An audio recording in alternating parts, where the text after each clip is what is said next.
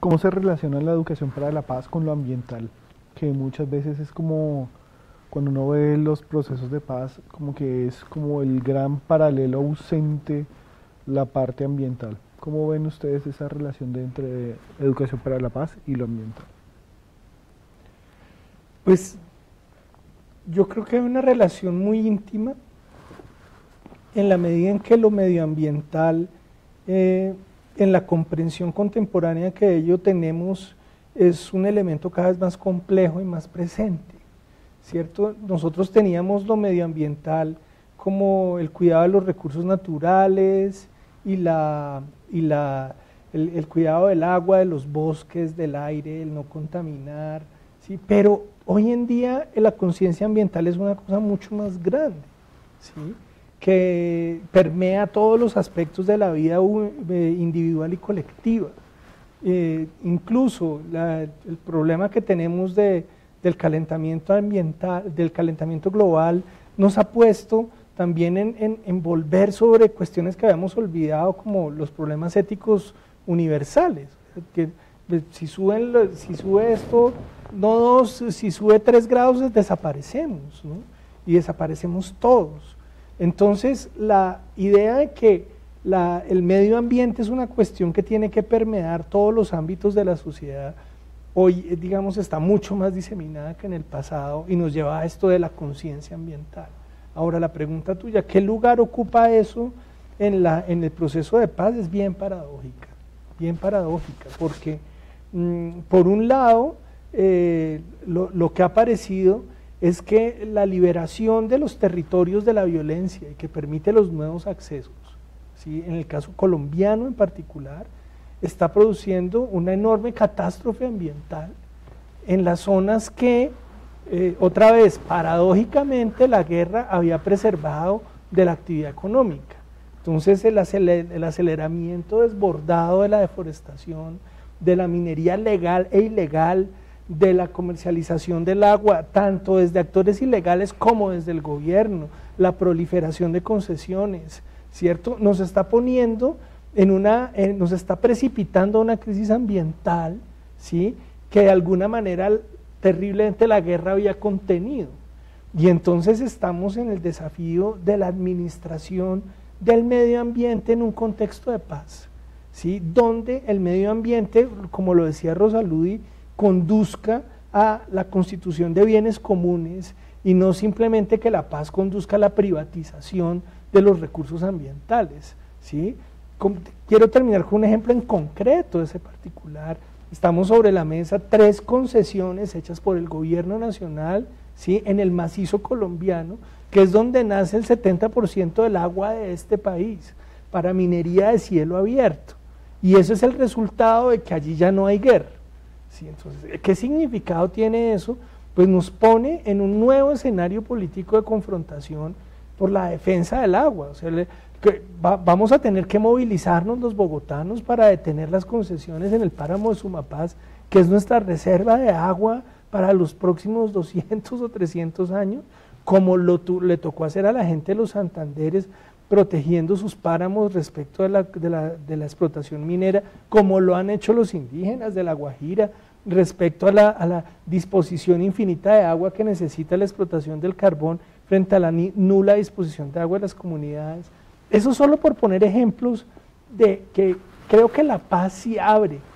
En este momento la política que viene es una política de discusión sobre las condiciones ambientales que debemos proteger o no y cómo lo vamos a hacer. Entonces tiene una íntima relación el proceso de paz con nuevos problemas, pero también la paz va a tener que pasar ya no solo si, la discusión de los 50 y los 60 es sobre la disposición, el acceso a la tierra como producción, hoy la discusión va a ser cómo vamos a acceder a la protección de los recursos que necesitamos de aire, agua, tierra para poder sobrevivir o simplemente es una cuestión que vamos a lanzar al mercado y que el mercado decida cómo va a resolver y cómo se va a explotar de la mejor manera para el que mejor lo pueda hacer. Eso, digamos, son las discusiones contemporáneas del conflicto, toda la relación encuentro. Eh, yo creo que, el, debate del, medio ambiente pone a la humanidad en, la perspectiva de, la sobrevivencia y de, del proyecto de humanidad viable. Eh, y en torno a la paz y concretamente en Colombia, vemos que la afectación del conflicto armado y de la violencia ha estado a muchos niveles, eh, pero donde las responsabilidades no tienen que ver con los alzados en armas, sino que tiene que ver con la forma en cómo se han decidido las políticas para el desarrollo en Colombia y en los países que están en toda la perspectiva neoliberal de la economía. Eh, hoy en día estamos hablando de, de derechos de naturaleza. O sea, si uno fuera a pensar en generaciones de los derechos humanos, la primera generación era la lucha por la libertad, la segunda por la igualdad, la tercera por la solidaridad, pero quién sabe si estemos ya a puertas de una cuarta generación que tiene que ver con que ya no solamente es importante regular las relaciones entre los seres humanos, sino entre los seres humanos y la naturaleza. Pero no solamente desde la buena voluntad de los ambientalistas, sino que es responsabilidad absolutamente de todo ser humano racional, saber cómo se relaciona con la naturaleza y con la dignidad que está inserta, que es un tipo de dignidad diferente, pero dignidad al fin y al cabo de los animales y de cada planta y de cada ser que está puesto en la naturaleza. Entonces, eh, yo creo que si le diéramos un giro más fuerte a los derechos de naturaleza y a la justicia ambiental, ¿sí? Eh, para comprender mejor por qué es importante construir la paz, no solamente para mejorar las relaciones entre humanos, tendríamos nuevas perspectivas de construir la paz. En Colombia, por ejemplo, todo lo que ha significado lo que planteaba Roberto en términos de las políticas que se han tomado para la explotación de los recursos naturales en Colombia, también han estado afectadas de manera particular por la cultura del narcotráfico. Y esto es uno de los acuerdos importantes que está atravesando ahorita las decisiones de paz para la construcción de paz. ¿Cómo educar políticamente a todas y a todos los ciudadanos en torno al cuidado, a la ética del cuidado de sí, a la ética del cuidado de las relaciones con los otros, pero también a la ética del cuidado con la naturaleza, ¿sí? con el medio ambiente? Porque realmente eh, si en una época las violencias mundiales han estado en torno al petróleo, ¿sí? no se dice falsamente que las nuevas posibilidades de guerra pueden estar en torno al agua, en torno a recursos naturales que son fundamentales para la sobrevivencia humana. Entonces es central, esto ya no puede ser solamente de los ambientalistas o de los de la perspectiva de género, sino definitivamente toda la raza humana, todas y todos los ciudadanos del mundo somos responsables de lo que pase con el medio ambiente. Por eso es un derecho de tercera generación, ¿no? el derecho al desarrollo y el derecho a la paz. O sea, es, es un derecho que compromete a todos los países y a todas las naciones acerca de cómo conservar el medio ambiente porque nos afecta absolutamente a todos. Y nos afecta tanto en violencias internas como violencias entre países. Es decir, compromete la paz mundial,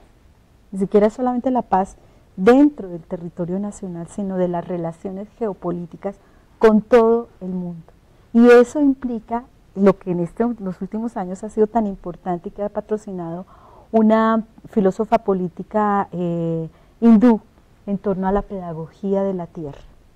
¿Cómo educar a todos los seres humanos para que se relacionen de una manera diferente con la naturaleza? con el cuidado de la tierra y con la función productiva y económica que preserve el proyecto de humanidad a través del cuidado de la tierra.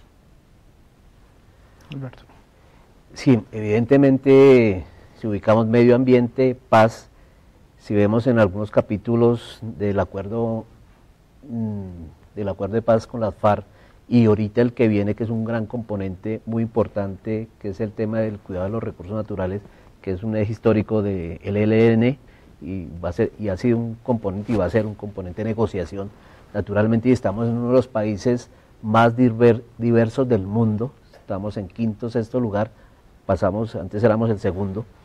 la riqueza que tiene Colombia es inigualable. Obviamente los recursos naturales son parte de la negociación política y mucho tiene que ver con las políticas públicas que se generen, con el tema de patentes para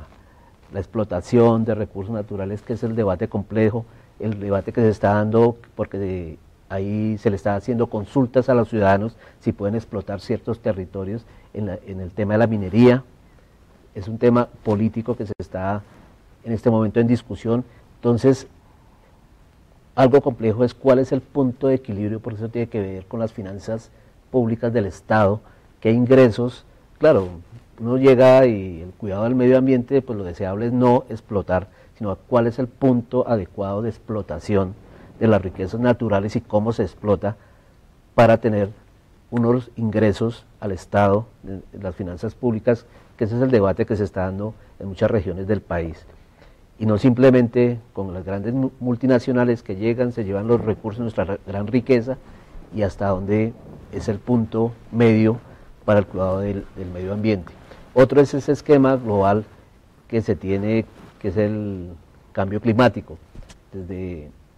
ahorita en noviembre seremos sede de Colombia sobre un, algo pedagógico, se llama Modelo Naciones Unidas, sobre el cambio climático a nivel latinoamericano tenemos el honor de ser aquí con la Fundación Domo Paz y Hans Seidel, sede en Colombia de, eso, es sensibilizar lo que está pasando a nivel global, todas estas tormentas que está pasando en el Caribe y que cada día hay más elementos que como que muchos sectores no creen porque consideran que el tema de cambio climático es un tema político de manejo general mundial, pero definitivamente somos convencidos de la importancia de que los ciudadanos, la sociedad entera, sea consciente de lo que significa el impacto del cambio climático. Y eso tiene que ver mucho de paz y por eso esos temas están inmersos en las negociaciones que se están llevando a cabo en Colombia. Eh, bueno, para la pregunta de cerrar es la de la, de localía y es, eh, entendiendo que el sentido de la universidad militar es acercar a las fuerzas militares a la sociedad civil por medio eh, de la educación superior, ¿cuáles consideran ustedes que debe ser el rol que debe asumir la universidad militar en las negociaciones de paz y en el posacuerdo.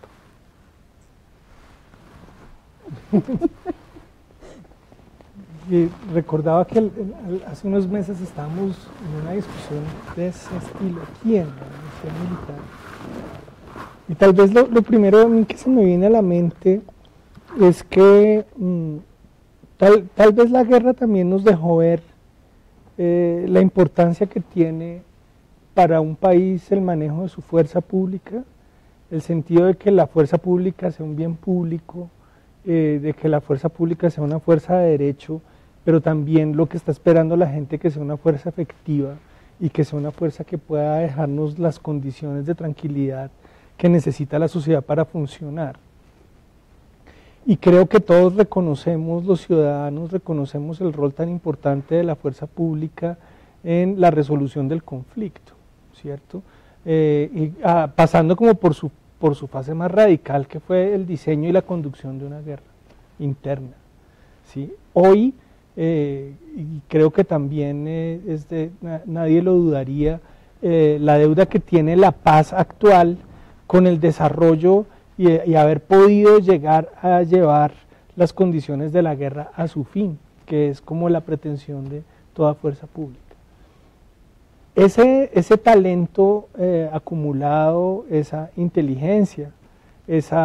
eh, desarrollo de conocimiento y práctica, eh, tiene que revertirse hoy en las posibilidades de llevar toda esa acumulación social a la construcción de la paz. Y no es el primer país que lo hace. países que han sido potencias militares tan importantes tienen clara conciencia, por ejemplo, de que en estos días, por ejemplo, leía buena parte del desarrollo de las teorías de, las organizaciones o de la teoría de construcción de proyectos ha, venido de los desarrollos en defensa en muchas, muchas ocasiones que son los proyectos más complejos que tiene una sociedad. Yo creo que hay un potencial muy grande en que el acumulado social y de conocimiento de la fuerza pública eh, redunde en la construcción del conocimiento y un enorme acumulado de paz que nosotros necesitamos. Y en ese sentido, pues siempre hemos dado la bienvenida a la contribución que ustedes hacen desde la, desde la Universidad Militar, entendiendo, digamos, las perspectivas que tiene este país de tener una fuerza pública consagrada a la preservación de la paz y a la construcción al pensamiento y la creación de la paz en el país. La otra cuestión que a mí me ha parecido sumamente interesante y ustedes como miembros de la red Unipaz, miembros sumamente activos, es eh, también lo que nos han ayudado a entender y a descubrir, y es que cuando desde una universidad como esta se desarrolla la creatividad y se desarrolla el potencial de las ciencias, ve uno la contribución enorme que puede hacerse. Lo digo yo que vengo desde una universidad católica, ¿cierto? En el siglo XIX se ponía muy en cuestión la capacidad que tenían las universidades religiosas para hacer una contribución a las ciencias. Y las universidades religiosas lo que asumieron fue con toda seriedad ver las conexiones entre ciencia y fe. Y, eh, por ejemplo, lo que he visto, no solo en las Javerianas, en muchas universidades católicas o religiosas, protestantes o de cualquier tipo, eh, las hinduistas en la India en la misma dirección para construir conocimiento. Esas eran discusiones del siglo XIX. Yo, quiero, yo creo que las discusiones actuales son muy interesantes en el sentido de cuál es la contribución que dice que, que tú preguntabas desde eh, la, la, ciencia, la ciencia militar, la ciencia de la defensa, las ciencias de construir estas enormes organizaciones que le dan paz a un país para construir la paz a partir de su profundo conocimiento de la guerra. Y quisiera terminar además con una cuestión. Fue una, fue una lección muy interesante para el país durante la negociación política, que tal vez los miembros de la mesa de negociación, tanto del lado del gobierno como de las FARC, que más rápido entendieron y que más fácil nos comunicaron la necesidad de hacer los acuerdos, fueran los miembros de la fuerza pública que estuvieron allá, los generales que hicieron parte del equipo del gobierno, pero también los miembros de la guerrilla que estaban más familiarizados con el conflicto, porque fueron ellos los que tenían más clara el impacto y la necesidad de la construcción de la paz. Vino de los sectores más militares el mensaje de paz más radical. Y eso creo que es una cuestión que tenemos que valorar y que da un, una ruta, tanto para la, la universidad militar como para todas las universidades. Alberto. Sí, definitivamente eh, la Universidad Militar tiene un eje fundamental que de una u otra forma podemos coger toda la charla de esta mañana en varios componentes de la educación para la paz, pero para la fuerza pública. Indudablemente debemos decir que han sido fundamentales para las negociaciones que se han dado para que se haya logrado el acuerdo, en este caso con la FARC, pero el reto está en, en el posconflicto y ahorita ese cambio y ajustes que tienen que hacer las fuerzas militares en estos temas. Sé que la escuela de guerra, que hace poco estuvimos con Reunipaz eh, haciendo con los próximos generales, con el CAEN, ellos están muy pendientes de todo lo que significa conocer visiones de diferentes sectores de la sociedad y específicamente en, el área de la, educación y pienso que la Universidad Militar eh, sorpresivamente desde hace unos cuatro años veo cómo con ustedes que nos han invitado y ustedes que hacen parte de las redes universidades han sido muy activos, pienso que es de las universidades más activas que he visto con, con beneplácito indudablemente, cómo son inquietos, tanto que este programa lo estamos haciendo en torno a eso y cómo han, activado este, este proceso de llevar no solamente a la sociedad civil, a los estudiantes, pero estoy seguro que se está yendo básicamente a las cúpulas militares,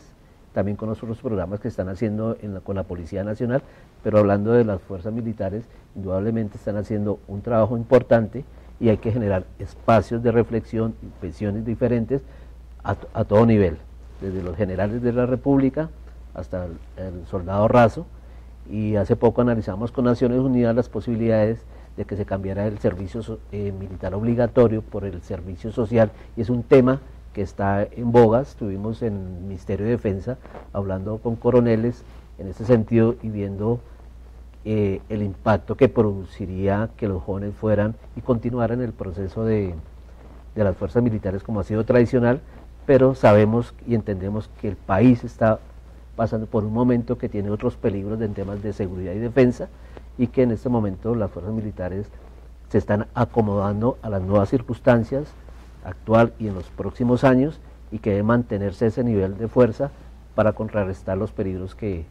lleva el posconflicto, porque no podemos dejar que, que, otras bandas armadas o las disidencias se, se, puedan agrandar y es un momento muy sensible. Se habla que en el primer año después de las negociaciones es un momento principal, yo pondría dos o tres años, porque no podríamos pensar que ya en dos años, mejor dicho, ya las parte de los que han sido de las fuerzas ilegales se conviertan en bandas criminales y naturalmente las fuerzas militares juegan un papel importante y, y, y sí he visto que desde la Universidad Militar y desde todas las instituciones que conforman la fuerza pública han estado muy pendientes y la educación y todos estos escenarios son fundamentales para sensibilizarlos y que reconozcan su papel fundamental para el fortalecimiento y el mantenimiento de nuestra democracia. Yo creo que el reto, eh, Colombia tiene un reto muy grande en todos los sectores de la sociedad, pero sobre todo eh, en resignificar el lugar que tiene la fuerza pública en la construcción de la paz. Y sin duda eh, la sociedad colombiana necesita reconocer, valorar el papel que ha tenido la fuerza pública en la defensa y la seguridad de la sociedad y cómo ha aportado también en términos de vida y de integridad de sus, de, sus, de, sus eh, de todos los que pertenecen al sistema de la fuerza pública, eh, lo que han aportado, las vidas que se han perdido, los órganos que se han quedado mutilados, las familias que se han desintegrado. Pero también necesita, eh, además de ese reconocimiento público que hace la sociedad a ese papel que ha cumplido la fuerza pública, también necesita autoexaminarse. Sócrates decía que la pedagogía de la política y la democracia tenía que ver con la capacidad que cada sector tiene de autoexaminarse, de vida examinada, y de poder reconocer sus aciertos y sus desaciertos, de poder reconocer